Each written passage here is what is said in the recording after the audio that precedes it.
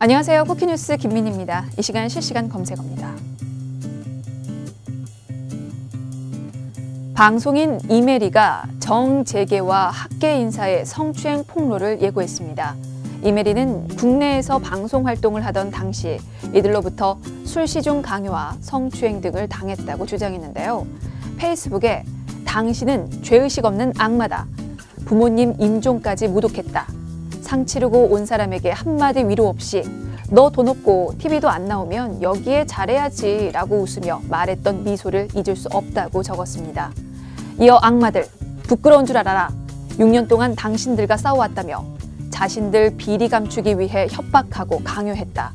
이를 은폐시키려 했던 모든 자 또한 공범이라고 덧붙였는데요.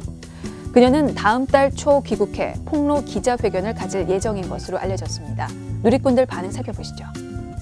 밝힐 게 있으면 밝히고 죄 지은 놈들은 지탄 받아야지.